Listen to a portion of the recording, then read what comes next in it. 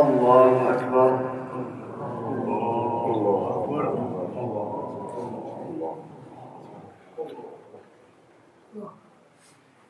الله أكبر. الله أكبر. الله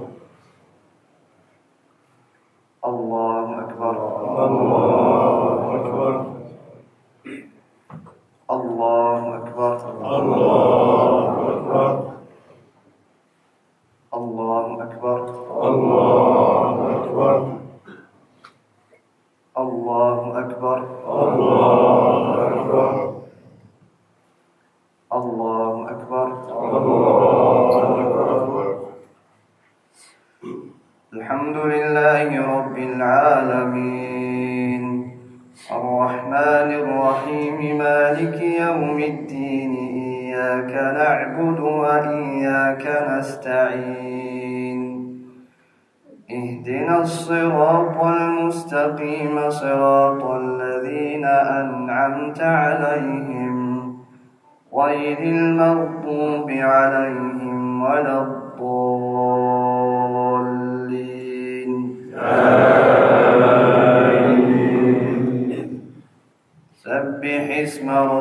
الأعلى الذي خلق فسوى والذي الذي خلق فسوى والذي قدر فهدى والذي أخرج المرعى فجعله غثاء أحوى.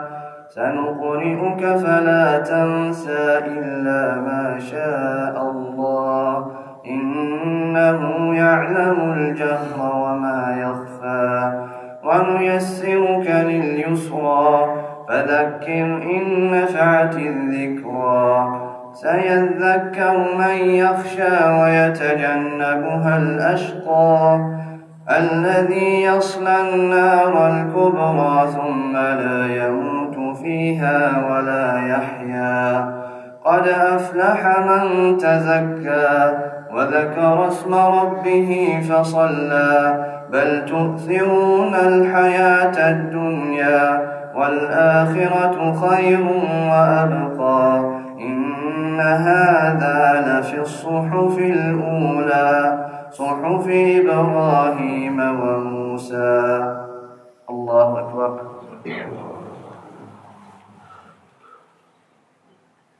سمع الله لمن حمده. Allahu Ekber.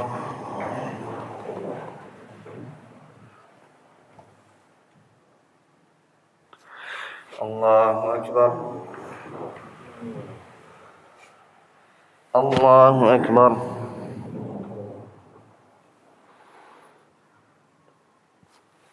Allahu Ekber. الله أكبر.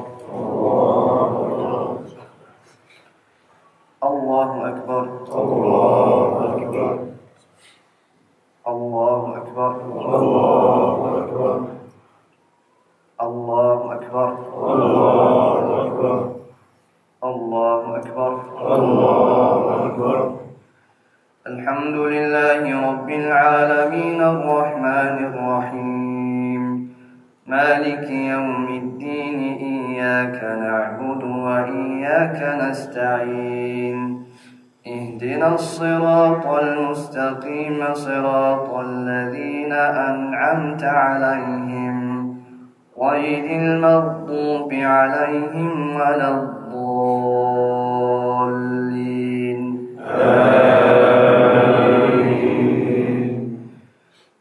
هل أتاك حديث الغاشية؟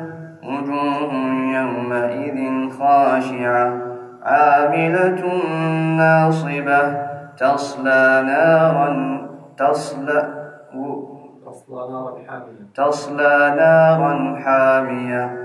تسقى من عين آنية. ليس لهم طعام إلا من ضريع. لا يسمن ولا يغني من جوع. وجوه يومئذ ناعمة لسعيها راضية. في جنة عالية لا تسمع فيها لاغية فيها عين جارية فيها سرر مرفوعة وأكواب موضوعة ونبارق مصفوفة وزرابي مبثوثة. أفلا ينظرون إلى الإبل كيف خلقت وإلى السماء كيف رفعت؟ وإلى الأرض كيف وإلى الجبال كيف نصبت؟ وإلى الأرض كيف سطحت؟ فذكر إنما أنت مذكر لست عليهم بمسيطر إلا من تولى وكفر فيعذبه الله العذاب الأكبر. إن إلينا إيابهم ثم إن علينا حسابهم. الله أكبر.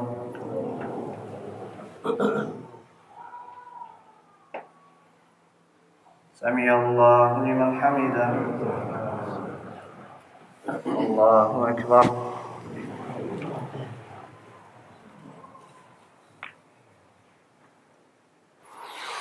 الله أكبر. الله أكبر.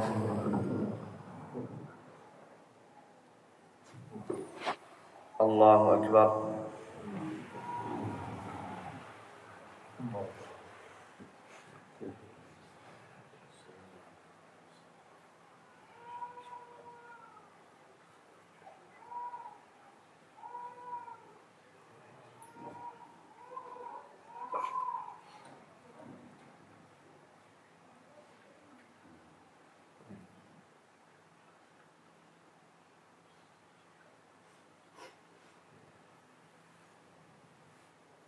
السلام عليكم ورحمة الله.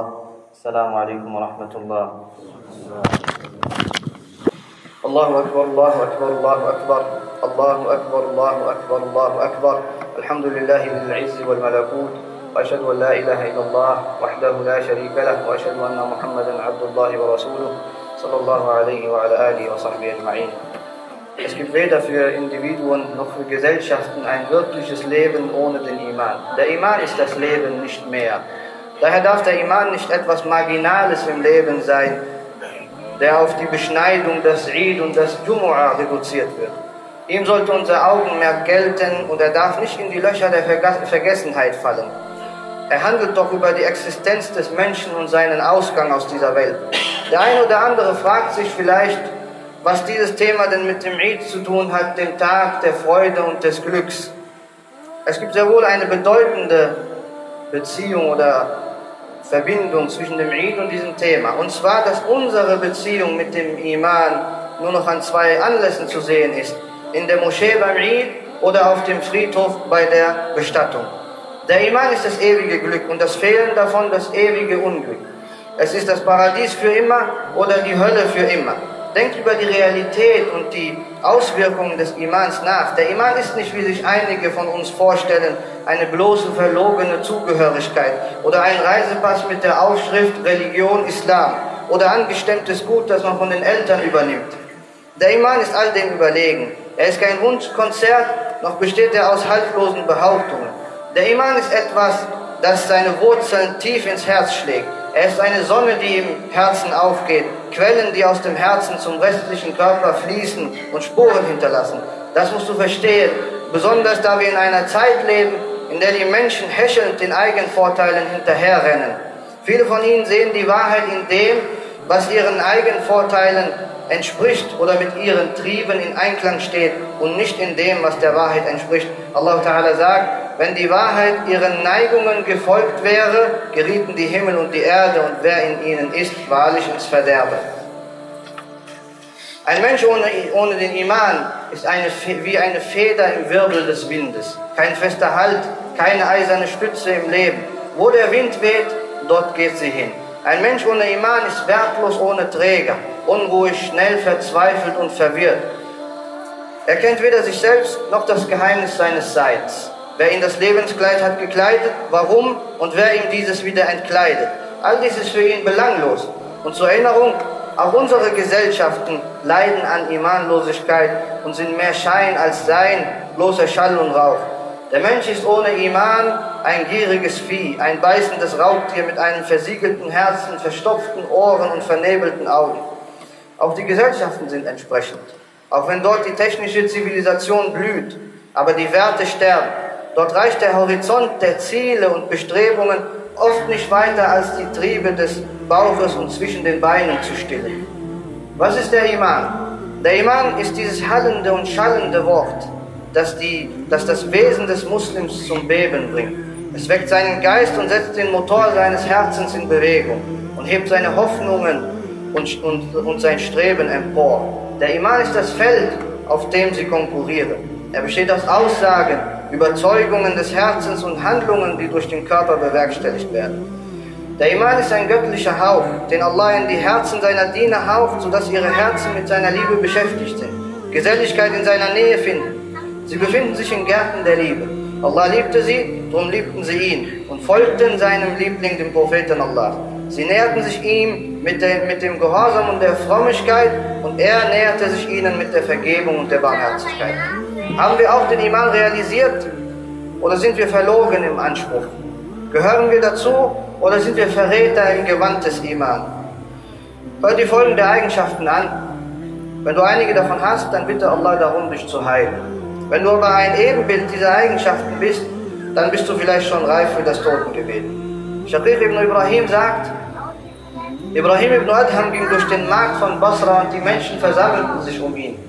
Und sie sagten, ja, aber Ishaq, wahrlich Allah Ta'ala sagt in seinem Buch, ruft mich auf, ich will euch erhören. Und wir rufen ihn seit eh und je an, doch er erhört uns nicht.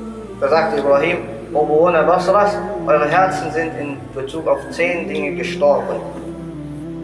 Das erste, ihr kennt Allah, doch ihr gebt ihm sein Recht nicht. Ihr habt das Buch Allahs gelesen, doch ihr handelt nicht danach.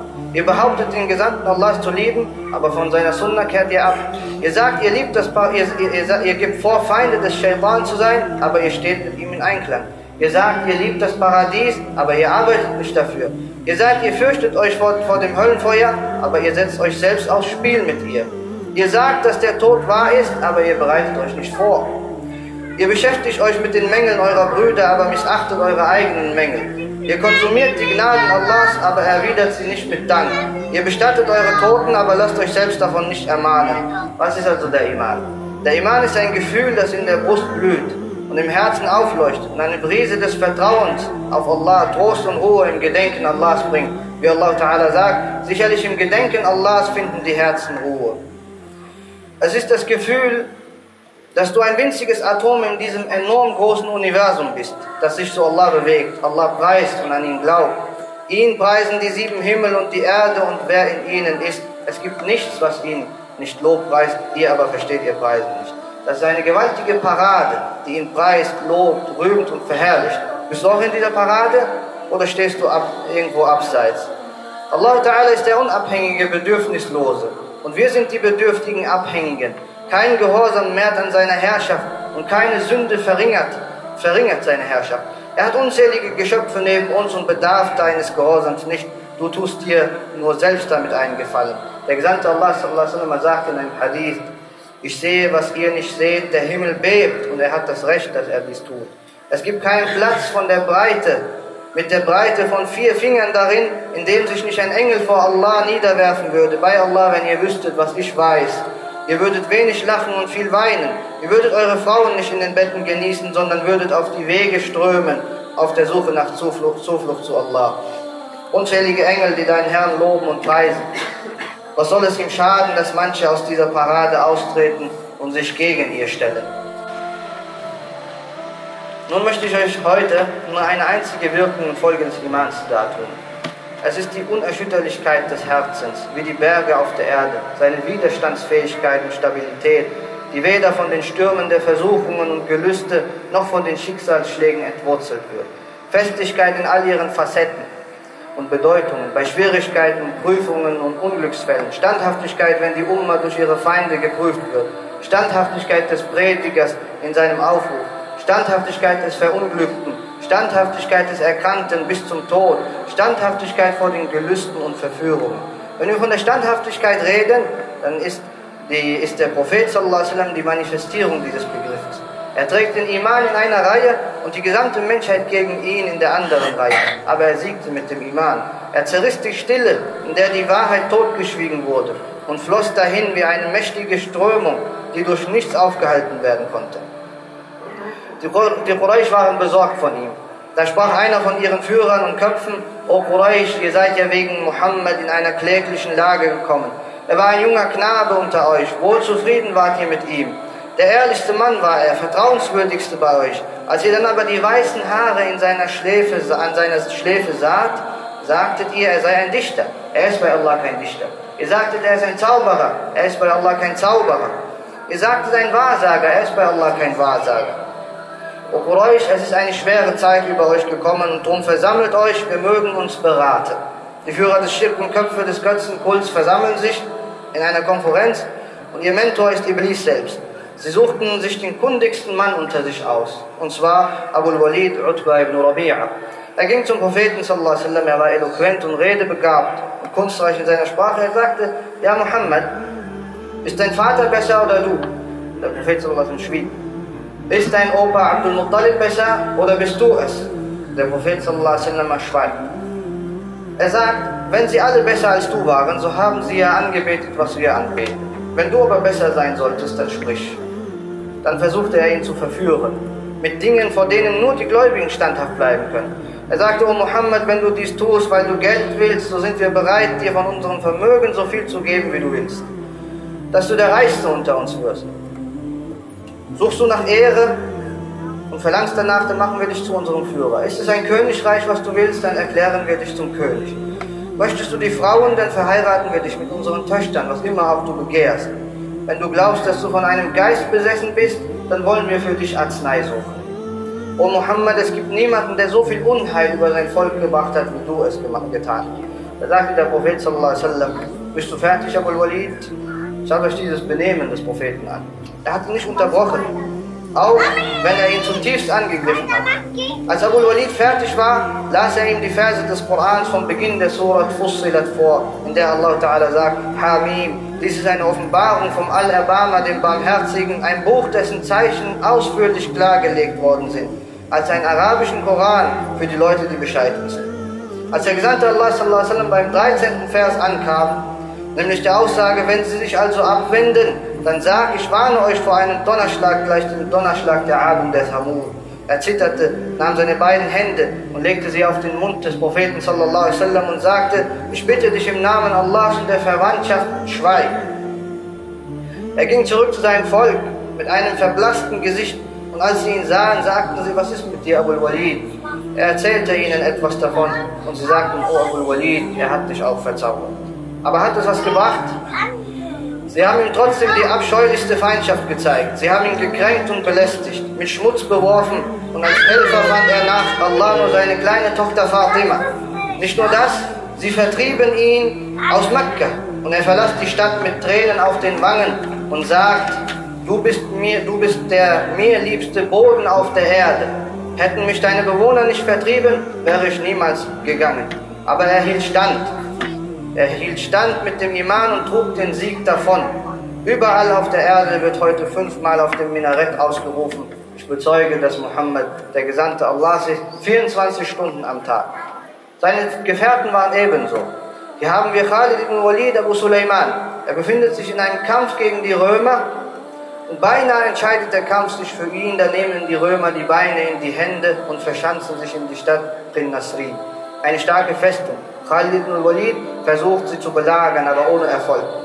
Er schrieb ihnen ein Schreiben, aus dem die Standhaftigkeit förmlich triefte und sagte, von Khalid ibn Walid zum Führer der Römer in der Stadt Bin Nasrin, wo wollt ihr vor uns weglaufen?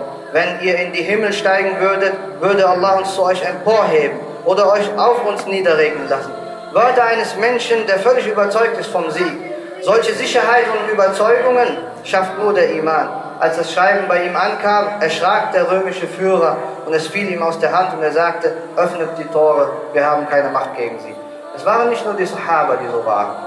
Seht ihr Ibn Taymiyyah an, der Verfechter der Sunna, der sich gegen den Gräberkult, Sufismus und ähnliche Ketzereien in der islamischen Gesellschaft geschworen hat. Er wird ins Gefängnis geworfen und als der Gefängniswärter die Tür verschließt, sagt, liest er die Aussage Allah, da wird zwischen ihnen eine Schutzmauer gesetzt mit einem Tor, zu dessen Innenseite die Barmherzigkeit und zu dessen Außenseite davon die Strafe ist. Er schaut sich die Insassen an und sagt, was können mir meine Feinde ein antun? Mein Paradies ist in meiner Brust. Wo, wo ich auch hingehe, es verlässt mich nicht. Meine Verhaftung ist Zurückgezogenheit. Meine Tötung, Märtyrertum und mein Exil ist Wanderung. Es gibt auf der Erde ein Paradies. Wer es nicht betritt, der betritt nicht das Paradies des Jenseits. Es ist das Paradies des Imans und der Überzeugung. Er erkrankt im Gefängnis und beschwert sich nicht ein einziges Mal. Im Gefängnis schließt er den Koran mehr als 80 Mal ab und stirbt bei der Lesung der Aussage Allahs. Gewiss, die Gottesfürchtigen werden in Gärten und Bächen sein, am Sitz der Wahrhaftigkeit bei einem allmächtigen Herrscher. Fatir as-samawati wal ard, عالم الغيب والشهادة أمطر علينا شآبيب رحمتك وأغثنا والمسلمين بغوثك وأمددهم بمددك لا إله إلا أنت. ربنا تقبل من الحجاج حجهم وأشركنا في ثوابهم. ووفقنا لما تحبه وترضاه. اللهم اجعل أعمالنا كلها خالصة لوجهك ولا تجعل فيها لأحد غيرك نصيبا. اللهم أصلح لنا أزواجنا وأولادنا. واجعلهم قرة عين لنا اللهم اغفر لنا ولآبائنا وأمهاتنا وارزقنا برهم والإحسان إليهم. اللهم ارحمهم كما ربونا صغارا. سبحان ربك رب العزة عما يصفون وسلام على المرسلين والحمد لله رب العالمين.